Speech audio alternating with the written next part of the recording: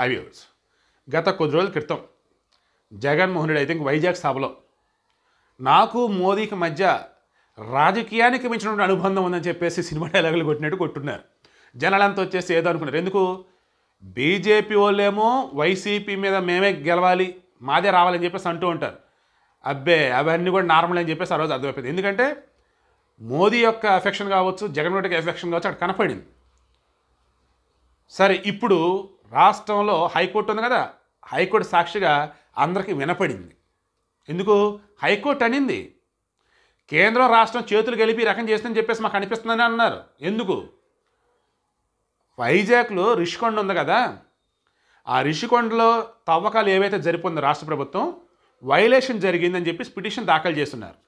వాళ్ళకి ఎంతైతే పర్మిషన్ ఇచ్చారో అంతకుమించి తవ్వకాలు జరుపుకున్నారు దాని మీద కమిటీ వేయండి అని చెప్పి పిటిషన్ దాఖలు చేస్తే హైకోర్టు ఏం చెప్పిందంటే ఇదిగో ఈ అధికారులు ఇలా ఉండాలి ఈ డిపార్ట్మెంట్ అన్న వేళ చెప్పేసి ఆ అధికారులు నియమించడం అని చెప్పేసి అన్నారు.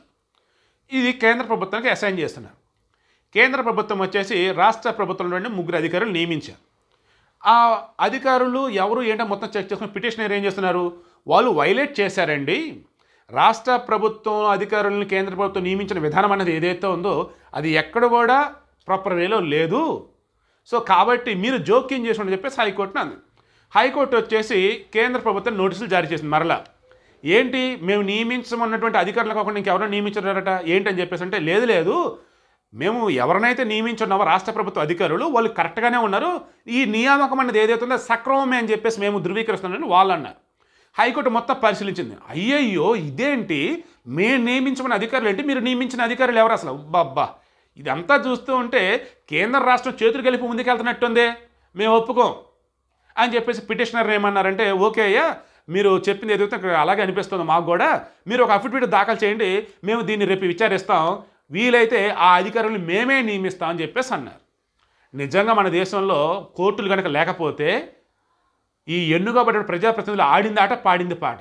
ఆ వేలో హైకోర్టులకు సంబంధించి కావచ్చు రిమైనింగ్ కోర్టులకు సంబంధించి చూసుకుంటూ ఉన్నట్టయితే భారతదేశంలో నెంబర్ వన్ పొజిషన్లో ఉంది. ఏంటి? ఆంధ్రప్రదేశ్. ఏ రకంగా కోర్టు వైలేషన్ కోర్టు ధిక్కరణలకు సంబంధించి ఆంధ్రప్రదేశ్ ప్రభుత్వం జగన్మోహన్ ప్రభుత్వం ఫస్ట్ ప్లేస్లో ఉంది. అంటే కోర్టు చెప్పింది పాటించడం వల్ల అవలంబించడం వల్ల అలా.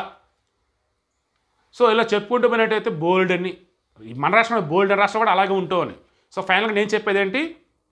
ఈ ఋషికొండ భూములకు సంబంధ తవ్వకాలకు సంబంధించి కేంద్ర ప్రభుత్వం రాష్ట్ర ప్రభుత్వం కలగలిపే ముందుకెళ్తున్నట్టు మాకు అనిపిస్తోంది. తప్పు జరుగుతుంది అక్కడ. అధికారులు మేమే నియమిస్తామని చెప్పేసి హైకోర్టు చెప్పింది.